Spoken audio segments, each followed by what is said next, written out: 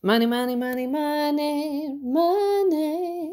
This is Jeannie King with two minutes that can change your life, and you might have discovered that we're going to talk about money today. I know some of you just gasped and tensed up, and that's okay. I don't know about you, but when I was little, money and bill paying was hardly ever discussed except in hushed tones, and the only thing we ever heard was we can't afford it. That seemed natural. We had six kids. My dad was the wage owner, and he worked very hard and even took on extra jobs.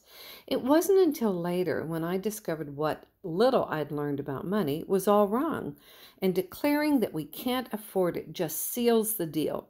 Money is the proof of God's abundance in portable form for us to use.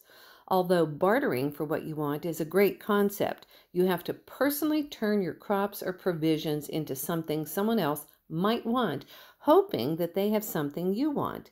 Money is a widely accepted form to easily use for what we need and want. In Matthew 22 21, Jesus said, Render to Caesar the things that are Caesar's, and to God the things that are God.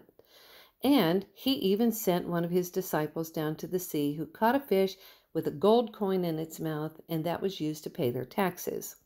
So, do you fear money? Do you hate money? Do you desire money? A quick tip is that money carries intelligent energy of thought and prosperity, and also despair over its lack. If you defame money, hate it, fear it, or hoard it, can you see why your energy could be blocking or repelling it? Today, look at your purse or wallet. Is it a mess? Is money thrown in without any thought and in total disarray? Organize your money, and as you look at it and touch it, make sure you give thanks for it and welcome more in. I ask you to please like, share, and subscribe to our YouTube channel, True U Group, and I guarantee you we're going to talk about this later on money. Have a great day.